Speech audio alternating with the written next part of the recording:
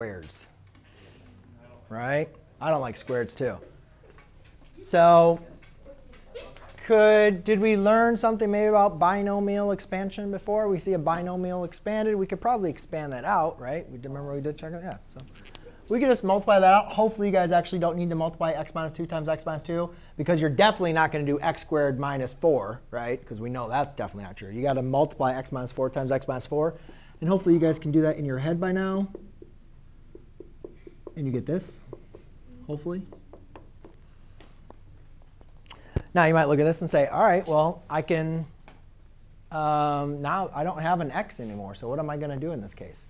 So, well, I recognize there's another equation up there I recognize. x squared plus y squared equals r squared. So why don't I just rearrange this? Oh, I do have an x. So could I rearrange? Um, so I could replace x squared plus r x squared plus y squared as r squared. I could replace x with x cosine of theta, and I could subtract that to both sides. Follow? No. Oh, wait. Give me like four seconds. 1, 1,000, 2, 1,000, 3, 1,000, We 4, forgot 1,000. one more. Oh, wait a minute. Yes, that's right. No, that's r cosine theta.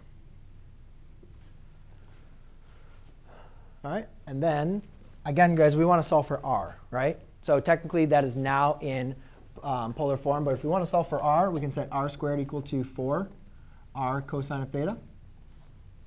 And then really, r squared, guys, is r times r. So if we divide by r, we get r equals 4 cosine of theta.